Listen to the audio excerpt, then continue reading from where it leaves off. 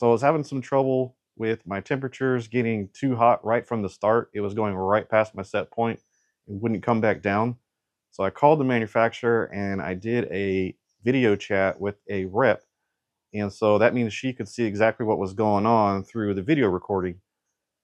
Right away, she told me when I opened the door to the pit boss, she saw the foil at the bottom. She said, no, you want to take that out immediately. You never really want to put foil in the bottom of any of the verticals or horizontal pit bosses. That can cause a problem with grease pooling up and creating a grease fire, which actually I believe that did happen to me a few months ago when I did that video that was fully loading out this pit boss. I currently now have at the bottom of this pit boss a area where it is pretty much burned and it's charred to the point to where I can't even pressure wash that stuff off. I would probably have to use a grinder. Well, I don't want to do that because I'll end up taking paint off. So um, it's pretty much just, it is what it is at this point. I know that's not what everybody wants to hear because like myself, I put the foil down to try and keep from having so much to clean up, but that's not what the representative wanted to see. So if I was you and I did it myself, I took the foil out. I won't be doing that from here on.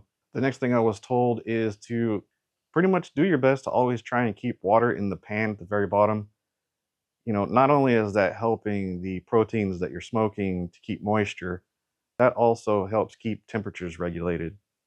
So you could use the one that comes in the bottom of the pit boss, and you could also use your own foil container, put water in that, and that'll give you an extra backup. Now that's going to take up an extra slot, but if you're not cooking that much, you know, adding an extra pan in there with water definitely is going to help. The next thing that she pointed out that was uh, considered a mistake on my behalf is that the exhaust stack, you always want to see two fingers of daylight. You really don't want to close this all the way down unless you're in really cold temperatures, which we don't get here in Texas. She mentioned the only time that you would really want to bring that exhaust stack down lower is if you are in some extreme cold temperatures and your controls are not able to get to the set point because it's just going too low.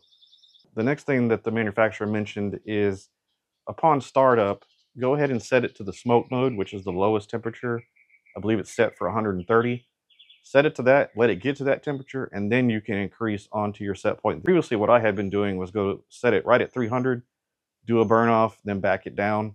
And I was having problems because it took me like three or four times for it to actually back down. It just kept climbing.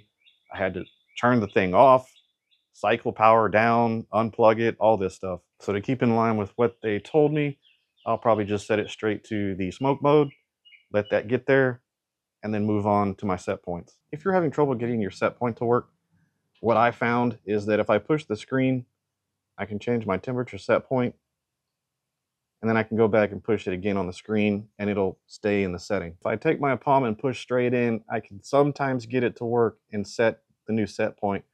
However, if you don't want to deal with all that headache, just use your touch screen. And I got one last thing before we go. When you're done with your cook, the proper way to shut this down is to hold it in, hold down the power button until you see that message. It's going to go through a shutdown process. Make sure you let it finish that process before you unplug this. If you found this video informative, go ahead and do me a favor and hit the like. And if you're new to this channel, hit the subscribe. I sure appreciate it. Hey, this is Todd Lone Star Smoked. We'll see you next time.